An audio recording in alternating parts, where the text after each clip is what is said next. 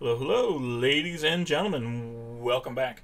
Uh, in this video is going to be a, just a quick uh, going over how I do uh, weapons effects within uh, Lightwave and how that, you know, could theoretically translate to any other application uh, you're going to use and how it should, you know, generally work within your uh, compositing environment. I'm not going to go, you know, load up After Effects and do all that kind of stuff to to kind of show it off, but I'm just going to quickly talk about um, using this uh, very quickly thrown together scene as an example. Um, but uh, someone was asking me earlier, uh, you know, what's the best way of doing weapons effects within Lightwave today? Uh, he seemed uh, not happy with uh, what he was getting with Lightwave's new volumetric system. And my question to him kind of is why are you using volumetrics when you should be using geometry?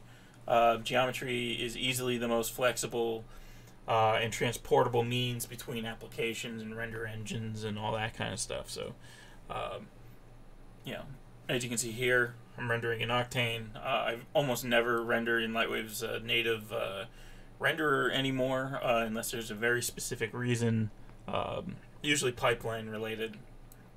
Um, but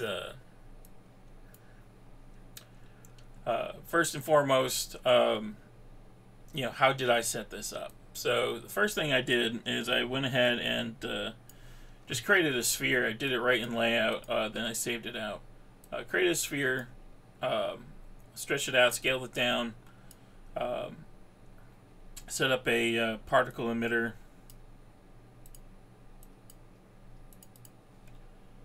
Um,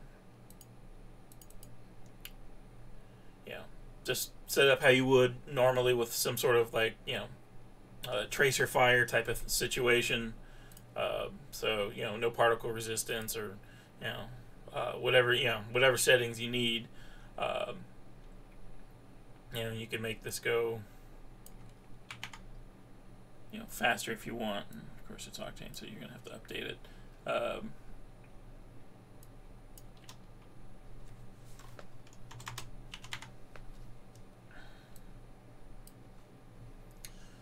but uh, then I just uh, attached that to uh, an instancer.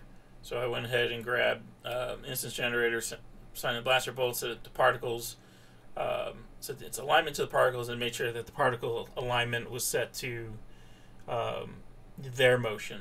And so, uh, as you can see, the blaster fire uh, is you know stretching down. That's probably the hardest thing to do in this whole setup because it's all really easy. Um, just knowing that you have to set that up in the uh, in the uh, emitter itself um, under rotation aligned to path. Um, otherwise, you know your um, you know your blaster bolts are going to be like going sideways or something like that, according to you know from their length or whatever.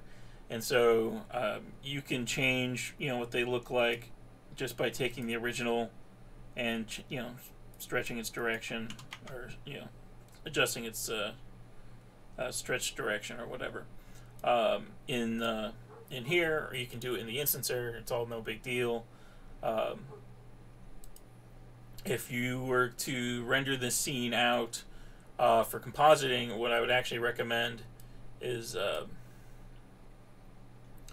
setting your uh, uh, your various weapon effects uh, to like a kind of a packed RGB type of thing. So, you know, instead of uh, having this be the correct color uh, for the weapon effect, I would make it like two two or two five five green. Have this stuff two five five red, which it already is, uh, and then you know render that out in its own pass with no other emissives in the scene, and so then you can then uh, isolate this channel, recolor to the correct color, isolate this channel, recolor to the correct color, do any kind of post effects and glows and you know whatever that you want to do um, to it there.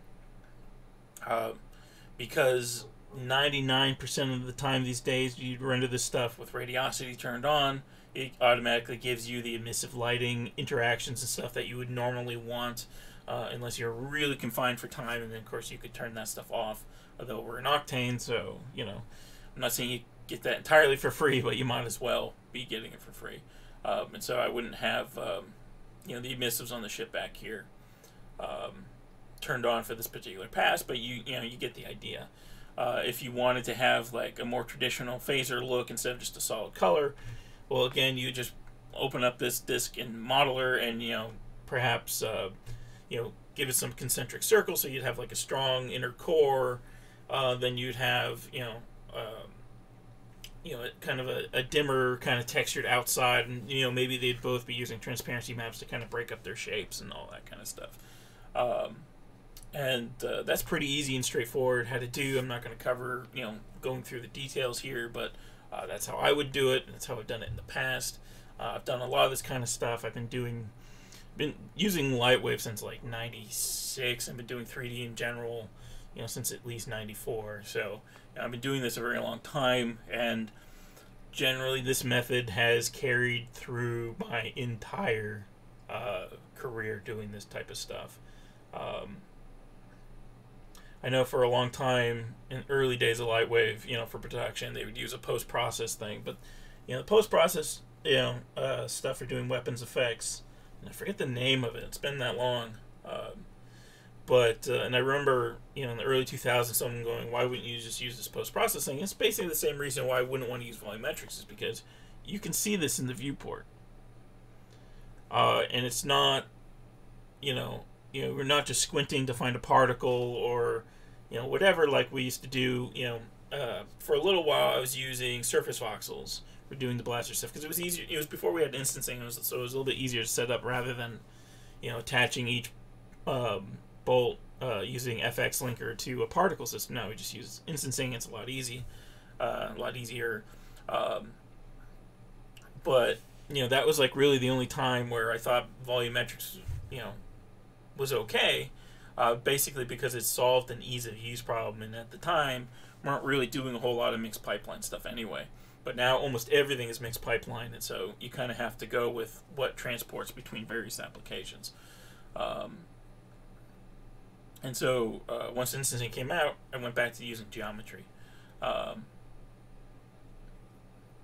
uh, the other thing is, is uh, because we're using geometry, we can you know track exactly where we're hitting stuff. Um, in the case of the particle stuff, you just spawn more particles uh, on the impact point. Um, uh, I wouldn't necessarily use volumetrics there either um, for something like this because you just want little flashes of stuff. So you could do displaced geometry. That would be fine. Uh, for the blaster or for the phaser fire here, obviously you know now you're starting to get into like fluid sim ter- territory because it would be a beam and be going, you know coming up and billowing you know out for whatever, and so in that case, yeah, you'd be using you know volumetrics quote unquote, but you know with uh, you know op- you know open source uh, volumetric solutions, you'd then be able to transport that between applications. So I would never use Lightwave's built-in uh, volumetrics tool for that. Uh, or going back to their old hypervoxel systems, which you never know will still be in the next version, you know, because it's a uh, deprecated feature, and you can you can enable it, but I doubt they're doing much to maintain it under the hood. So it's only going to get worse over time. And currently, you know, there's no straightforward way of getting it to do motion blur anymore because it's not, you know, it hasn't been updated for the uh, updated render engine. So. Um, which they may fix in a patch, they may not. Uh, but uh, last I heard, it doesn't work um, with motion blur anyway. So there's really no point in uh, in doing that. Um, so yeah, that's uh, pretty much it. I know it's been a little bit rambly, but I didn't sit down and write a script or anything like that for this. So. Um, uh, thanks everyone for uh, watching. I hope that explains my point of view on this. Um, you know, like I said, this is probably the easiest, straightforward, most straightforward way of setting this stuff up. Um, and it works best with a uh, compositing pipeline. I know Hypervox traditionally had really poor alpha channel support, so you'd bring it, you know, the alpha into your, you know, compositing application, and the color would change because the alpha channel looked was different. And so I always used to have to do these little tricks to kind of bring this color and stuff back when I was compositing that stuff. So, um, yeah, so you don't run into any of that kind of problem here. Um, and it can look as good as you want it. Uh, yeah. you could even run displacements on since it's just geometry. So you want to break you know break it up more than just maybe transparency maps. Um, you could do that. Um, and of course, you can make it gray. And if you're doing it by itself, I also recommend just doing it in grayscale um, rather than coloring it. But you can, you know, make it grayscale and post and do some adjustments that way too. That's fine. But uh, it won't come in white. Uh, if you do it, that will come in gray because it's a solid color here. Uh, but yeah, anyway, thank you all for watching, and I'll talk to you next time.